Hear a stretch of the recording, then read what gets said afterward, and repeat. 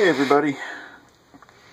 I'm gonna show you this little project I'm working on. I'm not exactly happy with the way it's working out right now, but I gotta tell you some background here.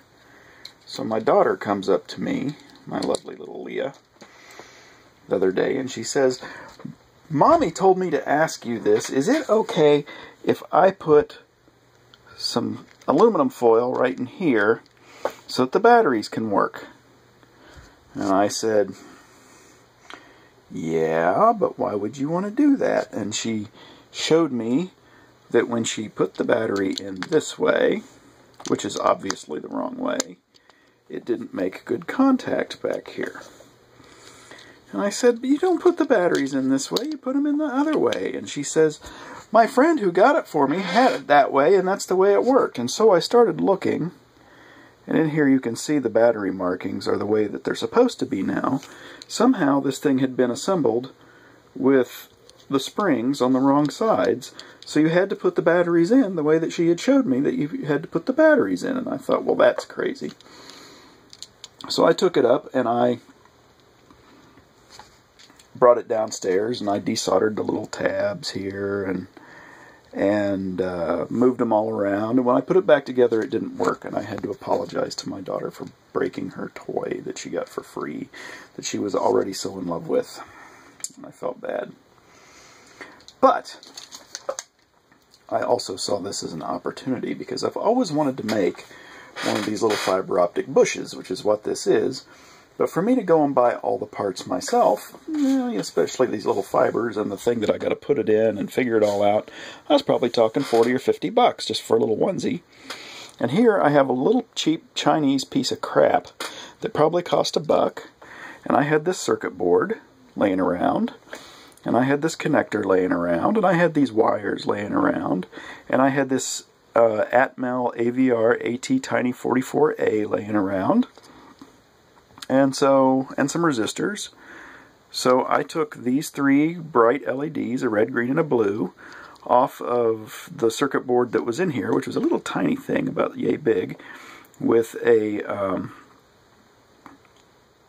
one of those little bug chips on it, glue black doppel things. And I decided, I just pulled them off and I said, I'm going to make my own because I've always kind of wanted to do this. So let me put the, right now the glue's still drying. I glued it down, but I'm going to reprogram this thing at least one more time, I think. And I'm also making solid models of this thing. They'll be available on GrabCAD when I get done with them. So let's snap the lid back on. And I'm going to drop the batteries in. And I know, I know, you're looking at my leg and you're not at all happy about it. Um, And then I'm going to turn off the lights in here.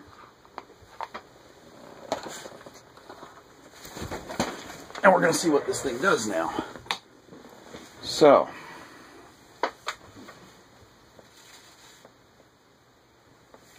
here's our fiber optic bush. You can see the blue, you can see the green, you can see the red over there on the other side. You can see some red and blue makes purple, and some green and blue makes I don't know what color that is. And down there in the middle where they're all mixing, it's kind of white. And over here between the green and red is whatever mixes some green and red. It's sort of some brown looking stuff. So all in all, kind of neat. But now we click the button. And it starts to flash and then we click the button again and I've got this thing set up where it just does a slow brighten and slow dim and then this is the mode that's sort of broken right now and doesn't do what I want it to do. I'm having a hard time getting it things to reset. But or maybe that is the mode. Well that is this is the second mode. I skipped one and that so this one randomly, it uses a random number generator to choose which light's going to do what when.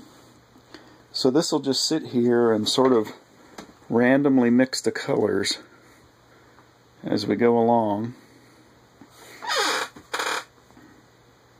and we'll not see the same combination of things happen for a really long time. So that's kind of neat. And, whoops, there we go. There's the switch. Click the switch again. And now I call this the spin. It just kind of spins around the three LEDs.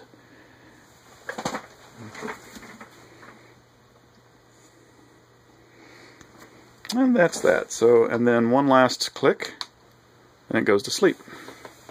So it saves battery power. And then we can click it again, and it comes back alive. Look at that. Blink. Dimming.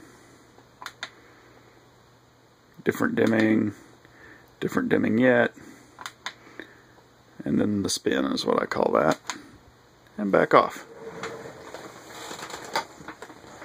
And so that's what it looks like there.